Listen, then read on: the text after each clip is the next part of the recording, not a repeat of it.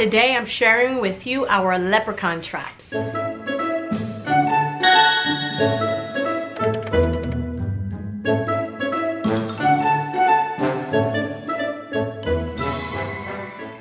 Hey guys, it's Vonnie from Mrs. Mom's Homeschool and welcome to my channel. And if you're new here, I am a homeschooling mom who's been homeschooling since 2012 and I create all kinds of videos to help you on your homeschooling and motherhood journeys. So make sure to take a minute to subscribe. That really helps me get my videos out to other moms just like you. Today I want to share with you guys three of my kids' leprechaun traps. If I sound a little congested, my allergies are out of control, so please bear with me. I went to the library the other day and I picked up this book. It's called How to Build a Leprechaun Trap. And I'm gonna take you on a peek inside. So here in this book, you have a bunch of different traps. And they each have a name and it tells you a little description about it. It gives you a difficulty level as well as a leprechaun appeal meter. It gives you the list of materials, your stem connection, and then it gives very easy instructions for your child to follow step by step. It also gives you some did you know facts. So today we are going to take a look into the Somewhere Over the Rainbow Irish leprechaun trap that my five-year-old made. We're also going to look at this Rainbow Springs trap that my son made who's nine. And finally we're going to look at this lickety split leprechaun hat trap that we made with my our first grader.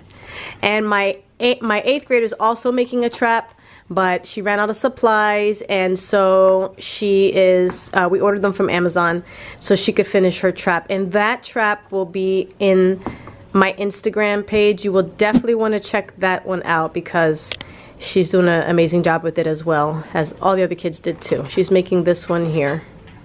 It is Shamrock Diner. So she's making a little Shamrock Diner I'm going to leave the link to this book in the description because this is a must buy for those of you guys who celebrate St. Patrick's Day every year and your kids make leprechaun traps every year. I'm definitely going to pick this up myself. So every time we're celebrating these mini holidays, St. Patrick's Day, President's Day, Columbus Day, Martin Luther King Day, I always start our class with a video and I go on YouTube and I type in what is St. Patrick's Day for kids and then I get a video and so the kids can understand what it is we're celebrating in this holiday so that's what I did and that's what the kids are doing here they're watching a video on St. Patrick's Day because the first grader that comes over here um, every day when I help homeschool her doesn't know what St. Patrick's Day is or leprechauns or anything like that so I was able to share that with her through this video